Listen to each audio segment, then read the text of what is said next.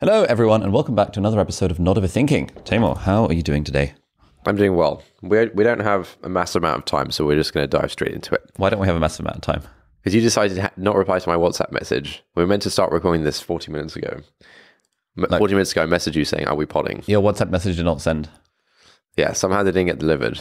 And you were also nowhere to be seen. So then I did my poo, and then you had a shower. Yeah. And now here we are. Anyway, today we are we're going to read some highlights from a book called uh, the book is called Why Love Hurts Okay. by a woman called Eva Illouz, something like that. Probably butchering the, the surname.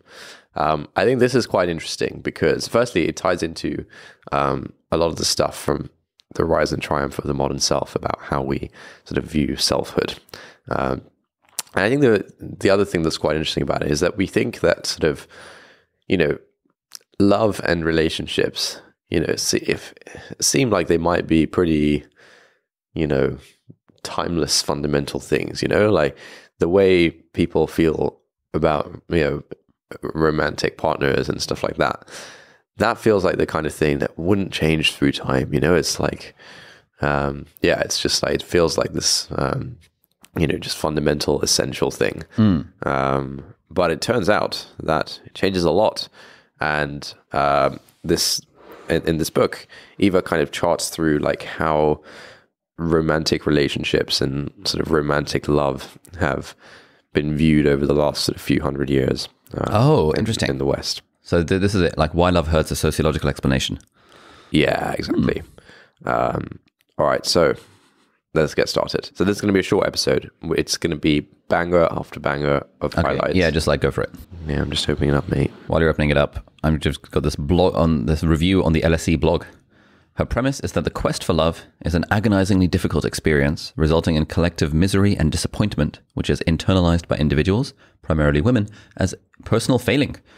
The urgent sociological endeavor, she argues, is to relocate this individualized account away from the deficient psyches towards the, quote, set of social and cultural tensions and contradictions that have come to structure modern selves and identities. Here, Illouz adds a much needed intervention, shedding light on how the personal and the social inter- intersect in shaping the romantic self in late modernity. Love it, mate. Love it. She suggests that the individual navigates their way through complex social structures and institutions which frame the rules around and cultural and cultural rituals of love, drawing on the resources which they have personally accumulated. It is this social psychic trajectory which Illouz posits as the modern condition of love, an experience that is shaped through inevitable suffering. What? This is a long passage, but it's quite okay. I'm going to read. It's a long passage, but I think it sets the scene well. Um, so she talks a lot about um, classic books by like you know the Brontes and stuff. And so she she talks about Wuthering Heights to start the book. She says Wuthering Heights from 1847 belongs to a long literary tradition portraying love as an agonizingly painful emotion. Um, basically, there's two protagonists, Heathcliff and Catherine. They develop a strong love for each other while growing up together. But Catherine decides to marry this other guy, Edgar, who's a, a socially more appropriate match. Taylor's oldest time. no, I don't know. um, and then, so basically, Catherine and Heathcliff love each other. Catherine decides to, regardless, marry the right the right choice, Edgar, and um, and Catherine says uh, Heathcliff overhears Catherine saying that she would be degrading herself in marrying him. Oh, Savage, savage. awful. Poor guy. And then there's another another book called Madame Bovary, describes the unhappy marriage of a romantic woman with a kind-hearted but mediocre provincial doctor. Oh, Any such case? I don't- I'll just say words. uh, who cannot satisfy his wife's sappily romantic and social fantasies. Its eponymous protagonist, i.e., this Madame Bovary lady, uh, thinks she's found the hero she's so frequently read and dreamed about in the figure of this other guy, Rudolph Boulanger, a dashing landowner. Mate, tale as old as time. Uh, after a three year long affair, they decide to elope. On the fateful day, Emma receives Rudolph's letter breaking off his promise. Yeah, basically, and she's really sad about this. And then there's a long description about how sad she is in like literary uh, sort of prose. Um, and now we're back to Eva. Eva says, by our own standards, Catherine and Emma's pain seems extreme. Um, you know, Catherine is really sad because she ditched the guy she loved to marry the right guy, said a mean thing, which the guy she loved overheard, and now he's like run away, and she's trying to find him to make things right. So she's sad about that. Uh, Emma is sad because she had an unhappy marriage with a kind of boring, sort of nice guy, and then she went away and eloped with. Um, you know, the more exciting, romantic, whatever guy. And then he broke off the whatever marriage, engagement, whatever stage they're at. And then she's sad about it. Okay. Okay, cool. Eva is saying that what this book, the book that we're reading from, seeks to claim is that the romantic agony that both of these women experience has changed its content, color, and texture. First of all, the opposition between society and love, which enacts in her, which each enacts in her suffering, is hardly relevant to modern societies.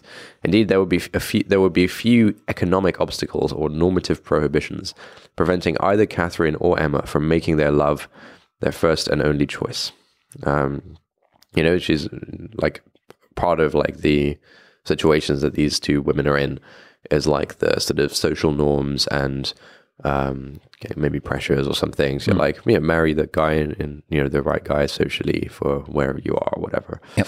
Um, if anything, our contemporary sense of appropriateness would command us to follow the dictates of our heart, not of our social media. You know, yeah. If you're like, if you don't like really love them or whatever, like you got to follow your heart and like do what's right for your heart, Okay. etc.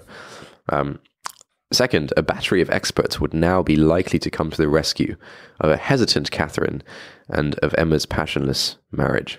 Psychological counseling, couples therapy, divorce lawyers, mediation specialists would massively appropriate and adjudicate over the private dilemmas of prospective or bored wives. Um, in the absence of experts' help, their modern counterparts would have shared the secret of their love with others, most likely female friends, or at the very least occasional anonymous friends found on the internet, thus considerably diminishing the solitude of their passion. Um, between their desire and their despair, there would have been a thick flow of words, self analysis, and friendly or expert advice. Um, a contemporary, you know, if, if these if Catherine and were here today, they would have spent a great deal of time reflecting and talking about their pain and likely found its causes in their own deficient childhood. Classic. They would have derived a sense of glory not from the experience of grief, but precisely from having overcome it through an arsenal of self help therapeutic techniques. Love it. Uh, modern romantic pain generates an almost endless gloss, the purpose of which is both to understand and ex- extirpate its cause. I don't know what that means. You know what extirpate means. Figure out. Dying, committing suicide, and running away to a cloister no longer belong to our cultural repertoires. This is not to say, obviously, that we post or late moderns do not know something about the agony of love. In, fa- in fact, we may possibly know more about it than our predecessors. But what it does suggest is that the social organization of romantic pain has changed profoundly.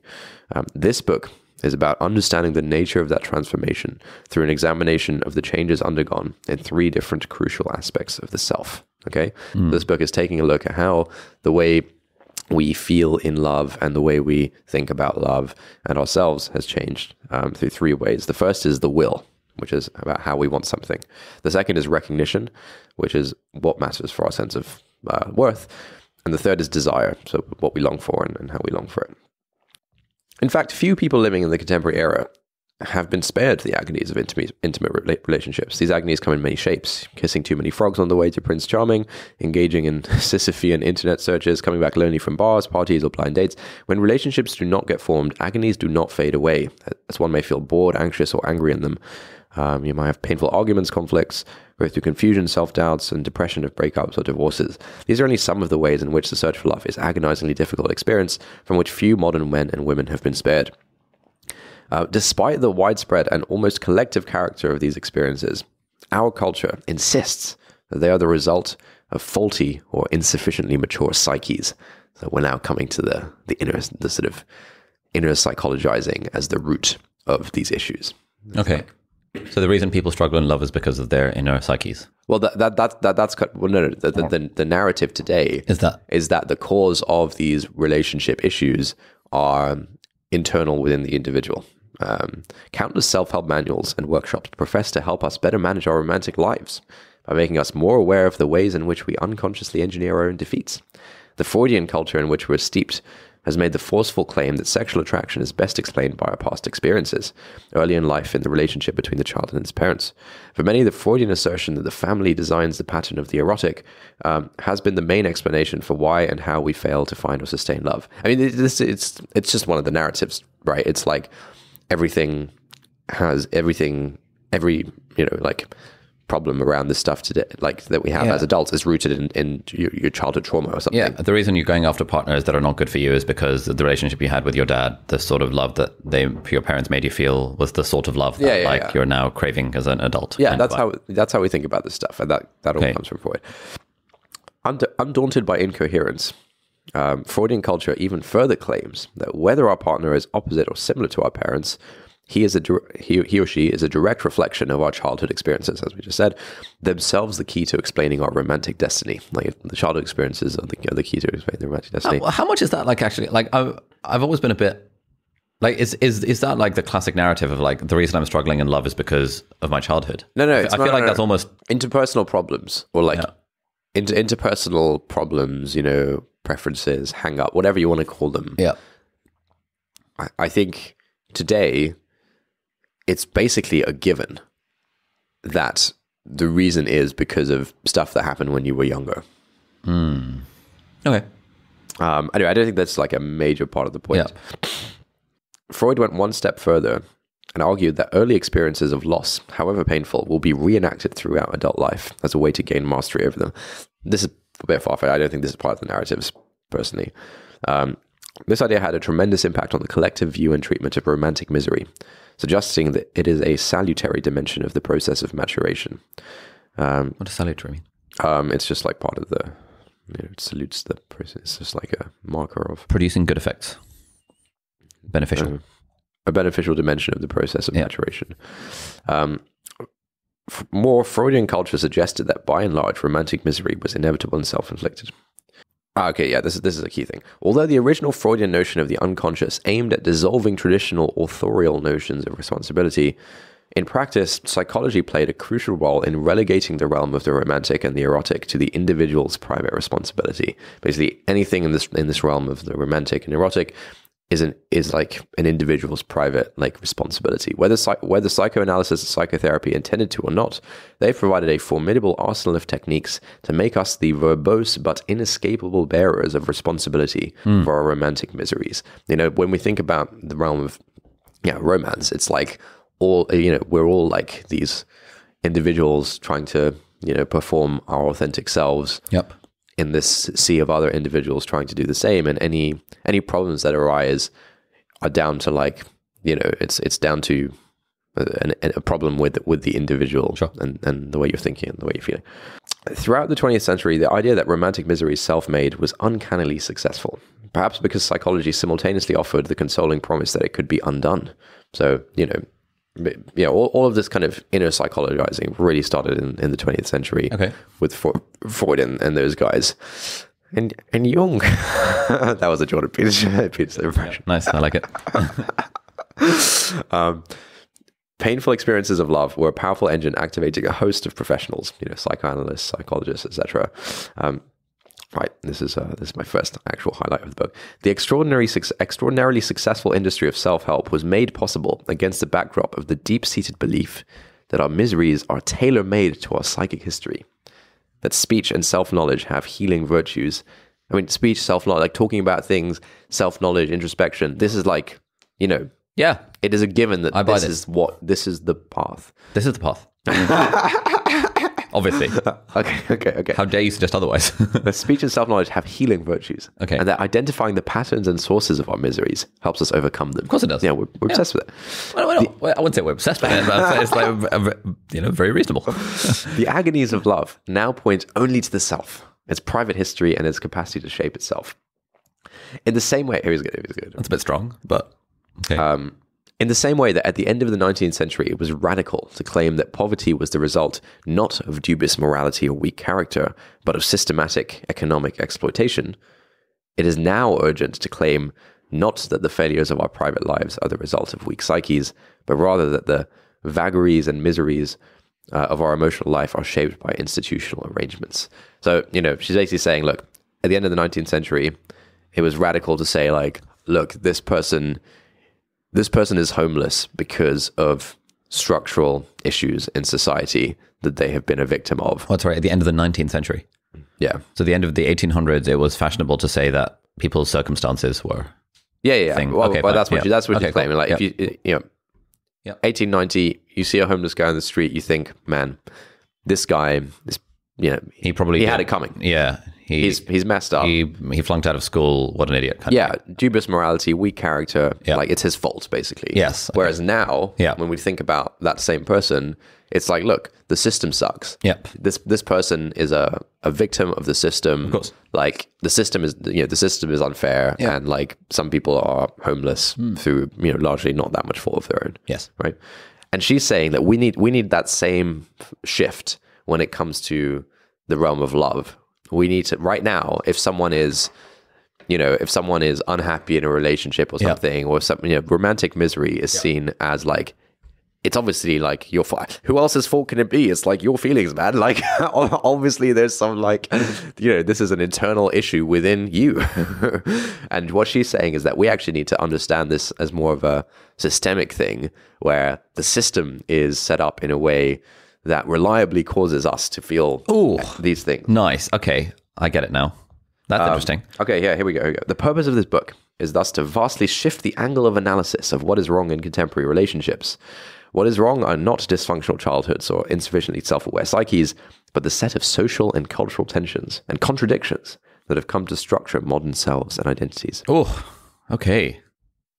Okay, that's interesting. I mean, I'm looking at a Blinkist summary of this book, but it's not particularly. It's very surface level. Unfortunately, Shortform does not have one. Um, Okay, so what Blinkist says is that have, have you read the whole book? I have read maybe like half or Oh, a okay. third of it. So what, what Blinkist says is the key message in this book finding love in the modern world can feel like a futile task. Women and men often have contradictory agendas, and the search for love is becoming increasingly rationalized through the advent of internet dating. Nonetheless, all people can build successful relationships with real commitment. I mean, that's okay, that's a stupid summary. But I think That's a stupid. Yeah, I think this is Blink- very much going for like this the self help version of this. Yeah, I'm sorry, but Blinkist lacks Yeah. substance. You'll you'll also learn why choosing a mate is like choosing a scoop of ice cream, why men hold sway over the over the love women receive, and how email, Skype, and Facebook make us fall in love with someone we've never met. Okay, yeah, this Blinkist Yeah, thing is this Blinkist thing is trash. like, Yeah, sorry, Blinkist, mate. trash. Um, This is why our channel is sponsored by Shortform these days. They do, they go a bit more in depth, but they sadly don't have the summary. Okay, so it's like basically just uh, trying to trying to make the case that. So having having read a third of it, have you do you do you buy it? do I buy it? Yeah. Yeah, I mean, it's just facts. I mean, it basically ex- it explains how like our ideas around love and how it relates to the self. It just kind of charts how those have changed over the last few hundred years. By you know, you can look at like literature about relationships from like the 1800s or the 1700s, and you can see how how it's presented, and you can get a sense of like, okay, back then, like if a guy rejected a girl. Like the thing that will be going through the girl's mind is this, whereas today, Like, what was the thing going through the girl's mind back then? well, all right, good question. I mean, we don't have time to read all the highlights, Yeah, but I just yeah. want your synthesis of like what's going on. I mean, basically, the uh, I think one of the points that she makes is that romantic rejection today is seen as like a profound rejection of of one's authentic self. Indeed, if, yes, if you are yes, quite- rejected romantically. You're being every fiber of your being is basically being like rejected. Like it is, it is a deep and profound reject, rejection. to and then there's all, all the self help around is like trying to convince you that hey, it's not me, it's you. It's like it's not you, it's me. It's like the circumstances. Don't take it personally. All that kind of stuff. Yeah, yeah, which yeah. people get a lot of solace out of. Right. Because rejection feels like a personal attack yeah, to the re- core. rejection feels like this really deep okay. thing. So what did it used to feel like in these classic novels? Well, but before that, uh, I mean, I mean, b- bef- back in the day, Yeah. romantic relationships were mediated by um, so, by kind of social connections and communities and expectations and things like that. And so, if it's like you know, you didn't get your so I think today, and I think I definitely felt this strong feeling growing up. You are yourself is validated by romantic interest and romantic acceptance. Sure. And you kind of you kind of need that in order to feel like you have the worth. And so the worth is coming from outside hmm. through this kind of, you know, the ro- romantic points or whatever. Yep. And that's what creates your worth, and that's what makes you feel like you're valued as an individual, valued by society, whatever. That like, that's a big part of like, am I am I valuable? Am I worthy?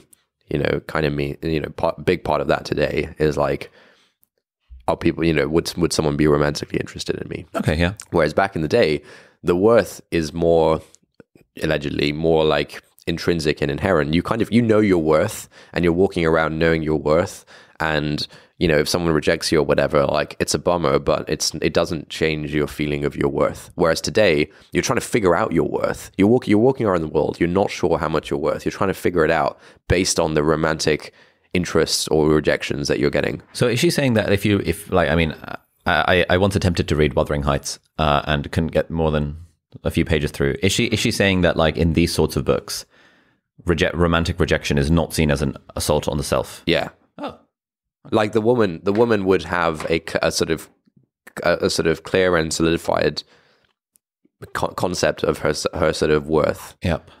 and the romantic rejection wouldn't change that Okay. whereas today we don't have this clear and solidified sense of our worth and we rely on these romantic signals to help us define that and so if you get rejected a couple of times you're like shit i must be absolutely worthless hmm.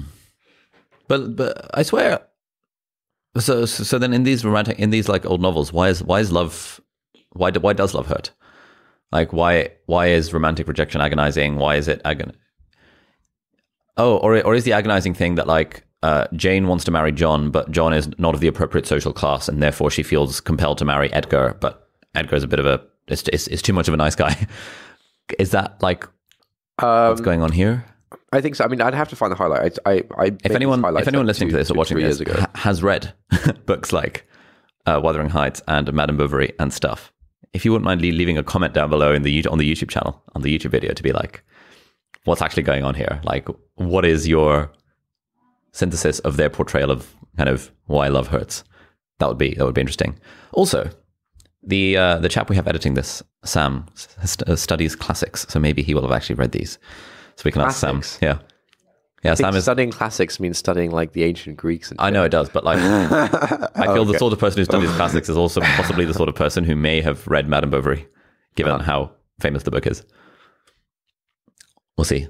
Sam, if you have, then uh, drop me a message on Slack and and you can let us know. Um, I'm trying to see if I can quickly find.